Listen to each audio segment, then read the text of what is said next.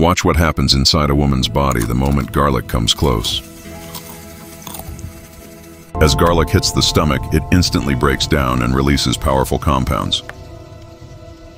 These nutrients move deep into the intestines, slipping straight into the bloodstream.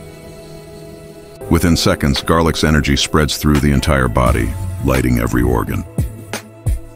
Garlic activates brain pathways, boosting focus, clarity, and neural activity.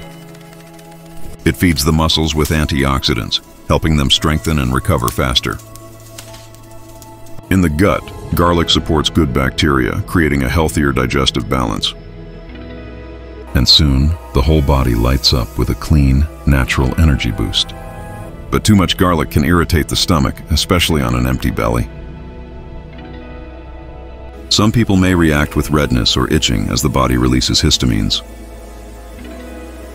Garlic can also cause sudden sugar shifts, especially if combined with heavy meals.